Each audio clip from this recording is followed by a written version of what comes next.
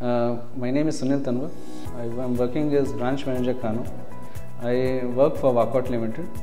I am looking after all the business development activities for Northwest region in Nigeria.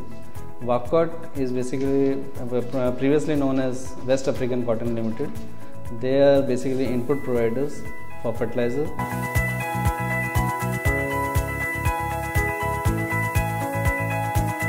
It's for both. It's for small farmer, medium farmer, large and corporate.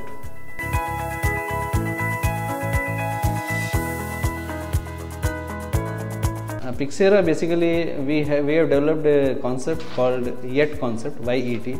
The full form is yield enhancement techniques, where we where we, where we insist farmer and motivate them by conducting demo trials because we work on the principle seeing is believing and learning while doing.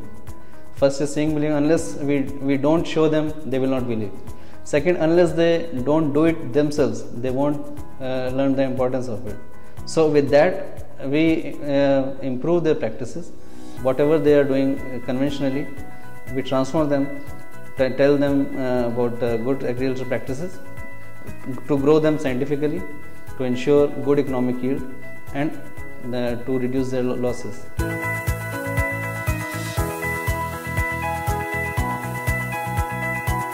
Basic channel is that we look for a platform where we meet more number of farmers because one-to-one situation is not possible. It takes time, and time is money for both farmer and for us. So we look, we look for uh, the platform, right platform. Unfortunately, we don't have many PYXERA globals in Nigeria who who share the same vision and come up with the, the same idea what we what we what we visualize but uh, fortunately this time we are fortunate enough that we found PYXERA Global for Kano for tomato growers. So that is the basic channel. Second thing is that trust is not developed overnight. That's why we are doing demo trials. So in a way we we spend some time on demo trials and let farmer let us be patient. Farmer do it and while doing it he realizes the importance of it so it takes time. So that is the main challenge. Otherwise there is no challenge for it. Unless the farmer uh, take the concept.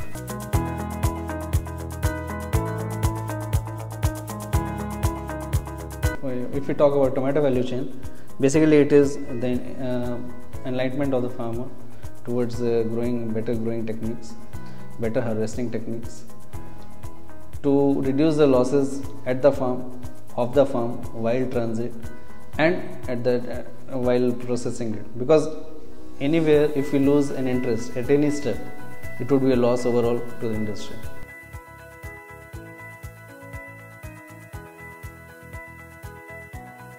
The advice is simple that whatever uh, we give the suggestions to them they, they should not take it lightly. They should practice, practice, practice it. Because we are here to hold the demo trials. We, we want to show them practically unless they choose it. So that is the only thing that they have to uh, listen to us. They have to try at least once so that they get convinced themselves